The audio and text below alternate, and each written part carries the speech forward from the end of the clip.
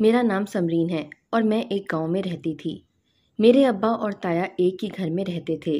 मेरी ताई की वफ़ात के बाद मेरे ताया सारा दिन और रात मस्जिद में ही गुजार देते और उन्होंने दूसरी शादी भी नहीं की।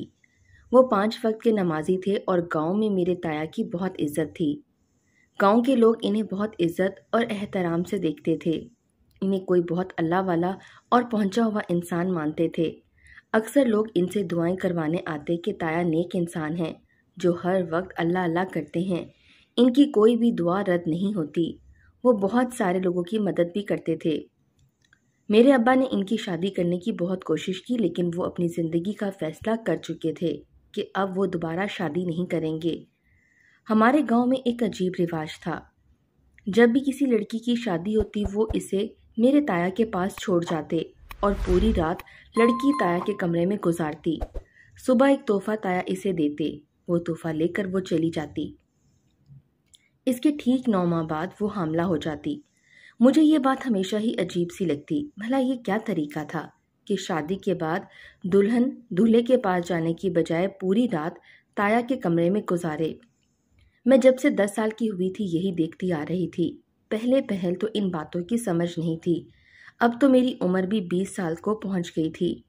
मैंने बहुत बार अब्बा से ये बात जानने की कोशिश भी की, लेकिन वो भी कुछ नहीं बताते थे। कहते, तुम चुप रहो और ख़बरदार आइंदा ये बात पूछी भी तो। इस बार मेरी बचपन की सहेली की शादी थी, किन्जा, और मेरी बहुत गहरी दोस्ती थी। अपनी शादी पर किन्जा बहुत मुतफक्र और घबराई हुई सी थी। अपनी मेहंदी के दिन इसकी रंगत उड़ी हुई थी। मैंने इसे छेड़ते हुए कहा कि दूल्हे की संगत का सोचकर घबरा रही हो। मेरी बात पर वो फीकी सी मुस्कुराहट लिए मुझे देखने लगी और कहने लगी, नहीं, तुम्हारे ताया का सोचकर खौफसदा हूँ। सच बताओ तेरे ताया नई नवेली दुल्हन को अपने कमरे में रात भर क्यों रखते हैं?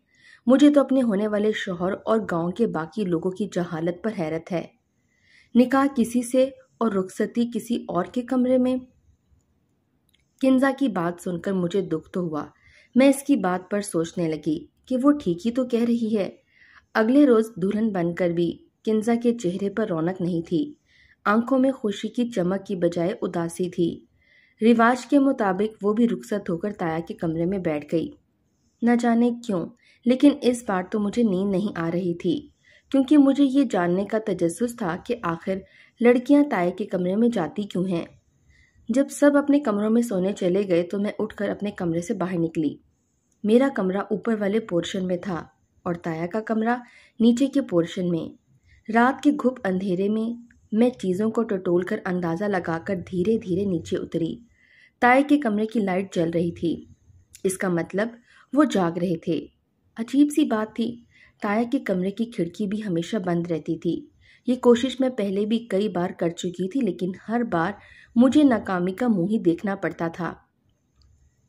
किन्जा मेरे बचपन की सहेली थी। हम साथ स्कूल और कॉलेज तक इकट्ठे पढ़े थे। जब इसका रिश्ता तय हुआ, उस वक्त मेरे लिए भी एक बहुत अच्छा रिश्ता आया था।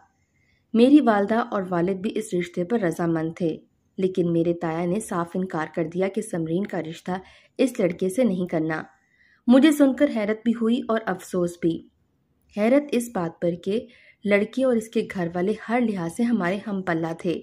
तो फिर इनकार क्यों किया गया?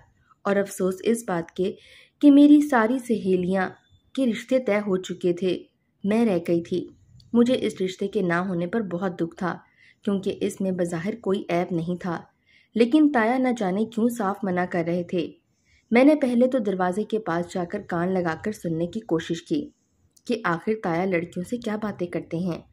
और लोग ऐसे कम अकल कैसे हो सकते हैं? जो सजी सजाई दुल्हन इनके कमरे में छोड़ देते हैं। यहाँ तक कि दूल्हे को भी एतराज़ नहीं होता। भला ये क्या अंधेरे नगरी थी? मुझे सरगोशियों की आवाज़ सुनाई दे रही थी। साफ़ लफ्ज़ों की समझ नहीं आ रही थी।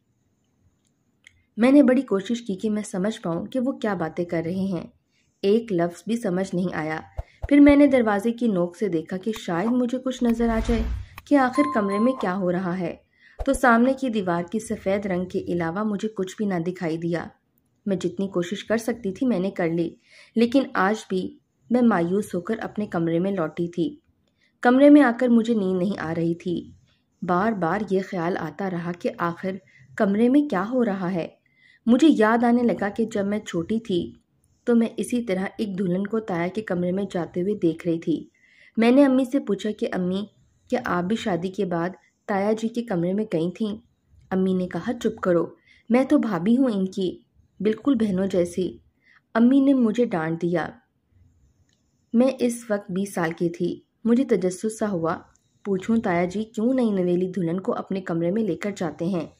मैंने फिर अम्मी से कहा, ताया, अंदर क्या करते हैं? मेरी बात पर उन्होंने एक थप्पड़ मेरे मुँह पर मारा। अम्मी ने कहा कि जाओ यहाँ से। तुम्हारी उम्र नहीं है इन सब बातों की। मैं रोने लगी कि ये क्या बात हुई। ताया की उम्र है ऐसी हरकतें करने की, जो वो ये कर रहे हैं। बहरहाल, मैं पूरी रात नहीं सो पाई थी। सुबह ही नीचे उतर गई। मेरी दोस्त कमरे से बाहर आई तो इसके हाथ में एक तोहफे का डब्बा था। मैं फ़ौरन से किंजा के पास आ गई। इसका हाथ पकड़ा और इसे अपने कमरे में ले गई। वो अब भी फैंसी कपड़े पहने हुए थी। मैंने इसे कहा कि किंजा ताया के कमरे में क्या था? ताया कमरे में करते क्या हैं? वो मेरी बात पर खाली आँखों से मुझे देखने लगी। कहने लगी, मुझे मेरा शोहर लेने आ चुका है। मुझे जाना है, मेरा हाथ छोड़ दो। वो मुझसे अपना हाथ छोड़कर तेज़ी से मेरे कमरे से निकल गई। मुझे बड़ी हैरत हुई थी। ये तो मेरी दोस्त थी, जो मुझसे कुछ भी नहीं छुपाती थी। हर बात किंजा मुझसे ज़रूर करती थी। और जिस राज को मैं जानने के लिए इतने सालों से बेचैन थी, मुझे पूरी उम्मीद थी कि सुबह होते ही मुझ पर यह राज खुल जाएगा। मुझे फिर से मायूसी हुई थी। मुझे किंजा पर गुस्सा भी आने लगा कि अगर इसके साथ कुछ गलत भी हुआ है तो इसे बताना चाहिए था। मुझे अपना ताया इस एक वजह से कभी अच्छे नहीं लगे थे। हालाँकि इनका रवैया मुझसे बहुत शफकत वाला था। ताया की कोई औलाद नहीं थी और मैं भी अपने वालदेन की इकलौती औलाद थी। मेरी अम्मी मुझे बताती हैं कि ताई का इंतकाल उस वक्त हुआ था जब मेरे वालिद छोटे थे, लेकिन ताया ने दूसरी शादी नहीं करवाई। अम्मी तो इस बात को ऐसे कह रही थी जैसे ताया ने ताई की नाम पर सारी ज़िंदगी गुजारी हो। मैंने दिल में सोचा अच्छा होता जो दूसरी शादी ही कर लेते। दूसरी ताई कम अज कम इन्हें ये सब जुल्म तो ना करने देती, जो हर नई दुल्हन के साथ ये करते हैं। मैंने भी दिल में पक्का इरादा कर लिया था कि किंजा से सच उगलवा कर रहूँगी। चंद दिन के बाद मैं किंजा के ससुराल पहुँच गई। उस वक्त वो बिल्कुल नॉर्मल सी थी। मुझे देखकर मुस्कुराकर गले मिली। अपने ससुराल में मेरा तारुफ करवाने लगी। इसका शौहर भी मुझसे खुश इखलाकी से पेश आया। मुझे इसके शौहर को देखकर कहीं से नहीं लग रहा था कि इसे अपनी दुल्हन एक रात ताया के पास भेजने से कोई एतराज़ या नाराज़गी होगी। मैंने किंजा से कहा, हम अकेले में बैठकर बात कर सकते हैं। वो ये सुनकर कुछ घबरा सी गई, लेकिन मैं खुद ही इसके कमरे का पूछने लगी। वो मुझे अपने कमरे में ले गई। जब मैंने दोबारा से किंदा से वही सवाल दोहराया तो वो खुद से सुकड़ गई, कहने लगी, मुझसे क्या पूछ रही हो? जाकर अपने ताया से पूछ लो। मैंने कहा, अगर तुम्हारे साथ कुछ गलत हुआ है तो तुम चुप क्यों हो? तुम्हें सबको बताना चाहिए। मेरी बात सुनकर वो चिल्लाकर बोली, मैं सिर्फ़ तुम्हारी वजह से चुप हूँ, समझी? अब निकलो मेरे घर से। ज़्यादा ही जानने का शौक है तो किसी दिन खुद दुल्हन बनकर ताया के कमरे में बैठ जाना। सच पता चल जाएगा तुम्हें। वो हद दर्जा गुस्से में थी। मैं घर वापस लौट आई। पहले तो मुझे किन्जा के घर जाने पर बहुत अफसोस हुआ। मैं किन्जा के लिए दिली हमदर्दी महसूस करते हुए गई थी, लेकिन इसने मेरा लिहाज नहीं किया था। क्या क्या मुझे नहीं सुनाया था। कुछ दिन तो मुझे किन्जा पर बहुत गुस्सा आता रहा, लेकिन फिर मैंने सोचा कि क्या हर्ज है कि मैं एक बार खुद दुल्हन बनकर ताया के कमरे में बैठ जाऊँ। आखिर पता तो चले कि वो करते क्या हैं। ये सोच आते ही दूसरे ही लम्हे मैंने खुद ही अपनी सोच की तरद कर दी कि इसके बाद मैंने इस मौजू पर सोचने से गुरेज करना शुरू कर दिया। इन्हीं दिनों मेरा एक और रिश्ता आ गया। वो रिश्ता भी हमारे मद मुकाबिल का था, लेकिन ताया जी का वही इनकार अपनी जगह कायम था। अब तो मेरी बर्दाश्त जवाब देने लगी थी। मैंने अपनी अम्मी से कहा कि बहुत हो चुका है। आप लोग क्यों ताया की हर बात चुपचाप मान लेते हैं? क्या मुझे घर बटाए रखोगे? मेरी उम्र की सारी सहेलियाँ अपने घर की हो चुकी हैं और मैं अभी तक मैगे की दहलीज पर बैठी हूँ। ताया की वजह से मेरी बात सुनकर मेरी माँ मुझे गुस्से से घूरने लगी, कहने लगी, बेशरम, बेगैरत, अपनी गैरत बेच खाई है तूने, जो खुद अपने मुँह से शादी का कह रही है। यही अपनी जबान को दबा ले। अगर ये बात किसी मर्द ने सुनी तो गजब हो जाएगा कि लड़की होकर खुद से शादी की ख्वाहिश कर रही है। अम्मी ने मुझे सख्त लहजे में गुस्सा दिखाते हुए कहा ताकि इनकी आवाज़ कमरे से बाहर ना चली जाए। लेकिन अम्मी की बात सुनकर मेरे तो बदन में आग लग गई थी।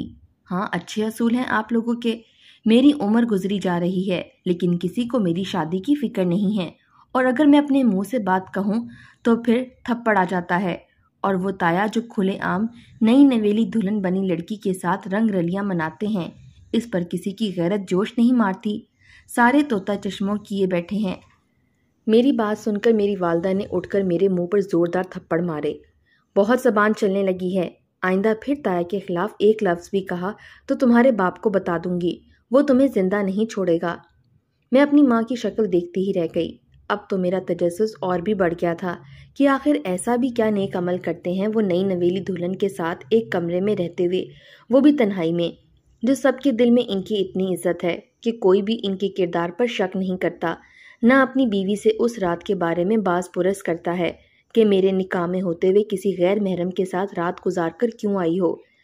कैसी अंधेरी नगरी है कि एक जहालत का रिवाज आम है, जो ये बेवकूफ़ इंसान इन्हें नेक पारसा समझकर अपनी इज़्ज़त को रात भर के लिए इनके हुजरे में भेज देते हैं।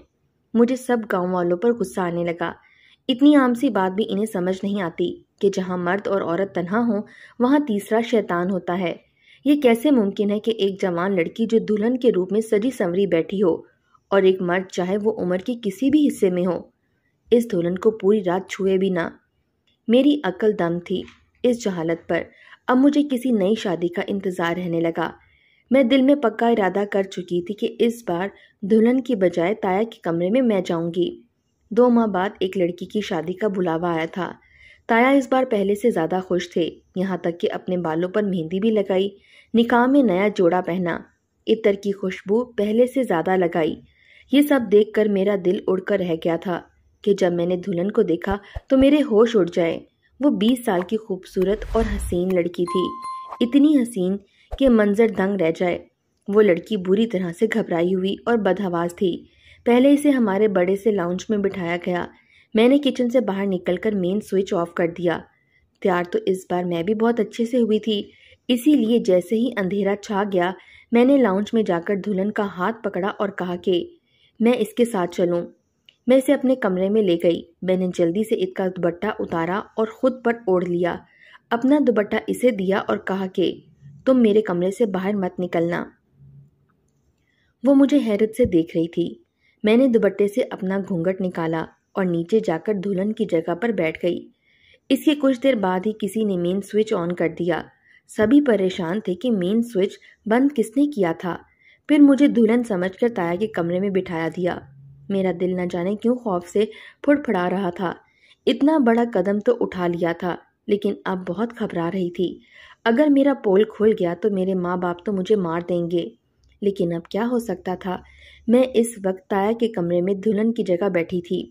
ताया जब कमरे में दाखिल होकर अपने कमरे का दरवाज़ा बंद करने लगे, मुझे लगा कि मेरा दिल भी बंद हो जाएगा। अगर वो मेरा घूंघट उठा लेंगे तो तब क्या होगा? ये सोच सोच कर मेरे अंदर से जान निकली जा रही थी।